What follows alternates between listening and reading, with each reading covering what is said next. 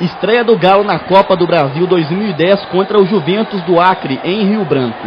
Aos 12 minutos, Diego Tardelli domina e bate de primeira, 1 a 0. Renan Oliveira toca para Obina fazer o segundo. Obina chuta e faz o terceiro gol do Atlético no jogo. No segundo tempo, após chute de Renan Oliveira, Marques empurra para as redes.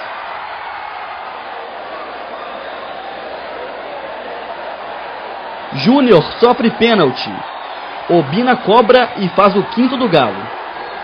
Obina, inspirado, gira na área e faz 6 a 0 para o Atlético. E nos acréscimos, Marques cruza e Obina faz o seu quinto gol no jogo, o sétimo do Galo na partida. Final: Atlético 7, Juventus do Acre 0.